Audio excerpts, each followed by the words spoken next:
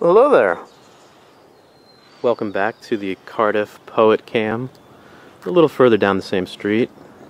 Just going to give you a little taste of some of the bougainvillea that's in this hood. See, there's a lot of it. Um, outside a lot of these houses, a lot of this beautiful bougainvillea bushes. I'll often sneak by and pick some. You'll see there's some over here too. Pick some usually at night when less apt to get caught. Um, although you know what? What the hell? I think this house is abandoned anyway. I'll pick some right now. Get a closer look at the bougainvillea.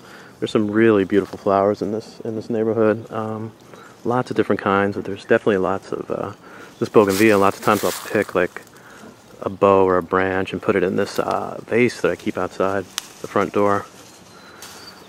And um, yeah, there we go. Hello.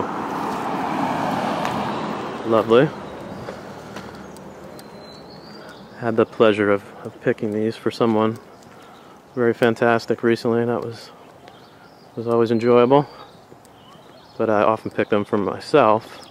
Another fantastic individual. I say that humbly, I swear.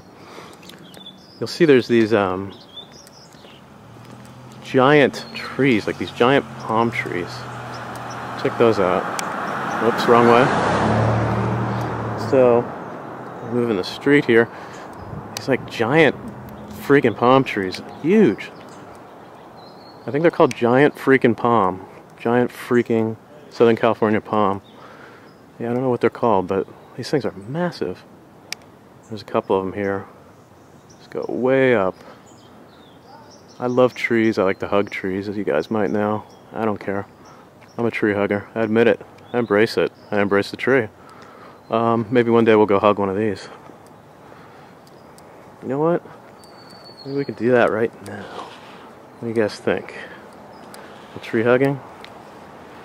Yeah. What the hell? Let's wait till this guy passes. Yep. Little tree hugging. Love you. Love the trees. Here you go. You know what? Mr. Tree, thanks for all you do. This is for you. Nature's bounty. From our bush to yours. Damn straight. So, that's what we do here in Cardiff. We hike, surf, swim in the ocean, hug trees, live free. Beautiful, beautiful thing. Speaking of beautiful things, there's this incredible truck over here. This is some guy's like rig and he's got some kind of pumping device, I guess, on it. So you'll see here. It's uh, West Coast Concrete Pumping. And he's got this rig here. I always see this parked. Check this out on the back. Yeah, I love to pump. Uh, uh, pump, pump, pump it up. How about that? That's classic. We had to get that on film. You knew that was coming. Oh, maybe you didn't. This is nice too. Ah! Talk to the hand, baby.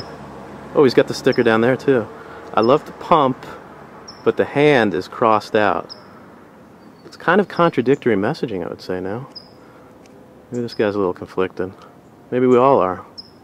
Hell, I know I am a lot of times, so it's all good. It's all part of life. So we'll let this guy go back to pumping. There's also this incredible rig around here that this guy's got like a mechanical bull action thing that he probably rents out parties, I guess.